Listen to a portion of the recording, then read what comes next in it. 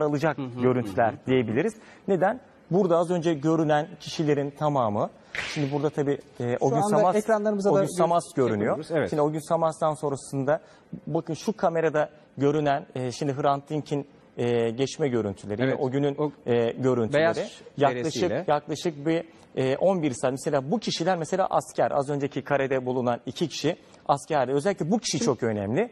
Bu kişinin ismi Emre Cingöz. E, İstanbul Cumhuriyet Başsavcının talimatıyla yeni bir araştırmaya koyulmuştu. O araştırmada çok ciddi bir telefon trafiği, HTS kayıtlarında telefon trafiği elde edildi. O kişi de Emre Cingöz üzerinden yani sadece cinayet günü 322 telefon görüşmesi yapıyor o bölgede ve bu kişinin bu kadar yoğun bir telefon trafiği yok daha önceki günlerde. Trabzon'dan geliyor.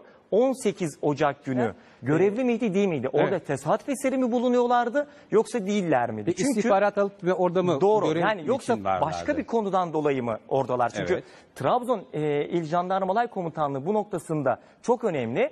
Ama e, işte Albay Muharrem Köse'ye giden yazı, adli müşavirlikteki Albay Muharrem Köse'ye giden yazıların hiçbirine cevap verilmedi. Polis yaklaşık 20'nin üzerinde yazı yazdı. Bu kişiler Albay Muharrem e, Köse. Köse yani adli müşavir Genelkurmay Başkanlığı adli müşavirlikte görevliydi.